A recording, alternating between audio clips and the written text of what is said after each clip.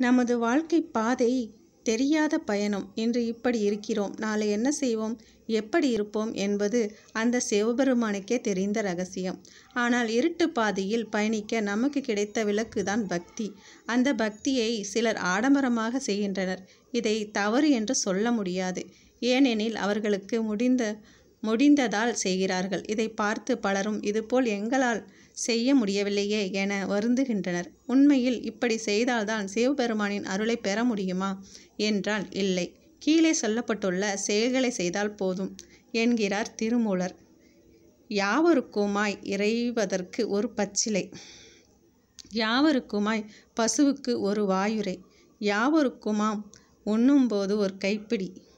யாவருக்குமாய் மாம் பிறர்க்கு இன்னுரை தானே. தினமும் கடவுளுக்கு ஏதேனும் ஒரு பச்சிலையால் அர்ச்சனை செய்யுங்கள். அப்படி இல்லையெனில் பசுவிற்கு ஒரு வாயாவது சாப்பாடு கொடுங்கள். அதுவும் முடியவில்லை எனில் பசியால் வாடுபவர்களுக்கு உணவளிக்கலாம். சரி இதையெல்லாம் செய்ய வாய்ப்பில்லை. என்ன செய்யலாம்? எல்லோரிடமும் இனிமையான வார்த்தைகளால் நம்பிக்கை தரும்படி பேசலாம். இந்த எளிய வழிபாட்டை செய்தால் உங்கள் முன்வினை பாவம் தீரும். திருமூலர் மந்திரம். வணக்கம்.